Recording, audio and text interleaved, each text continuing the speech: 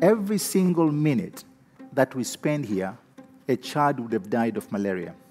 So by the time we finish this talk, which is about 90 minutes, 90 children in Africa would have died of malaria.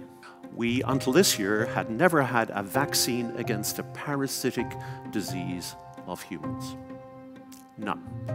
Two malaria vaccines uh, are now available, and to be part of both of those two vaccines has been really an incredible journey.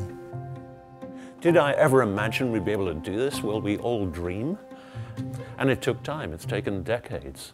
We tried lots of different technologies, some of which you've heard of for COVID. The COVID vaccine we made was actually made to tackle malaria. Science is an incremental thing, so you add a little bit of knowledge. It's like building a house, you put one brick and the other one comes and put another brick. Being part of that culture, believing that we are building this huge house and in my lifetime I'll only maybe put in four bricks, uh, you know, that brings a lot of joy. I have an obligation, but also I am capable as a human to, to really contribute, to do something, you know, to, to put a mark. So you go with it not with certainty that you're going to make it, really take a passion and, um, and a bit of courage as well to say, you know, this is, this is possible.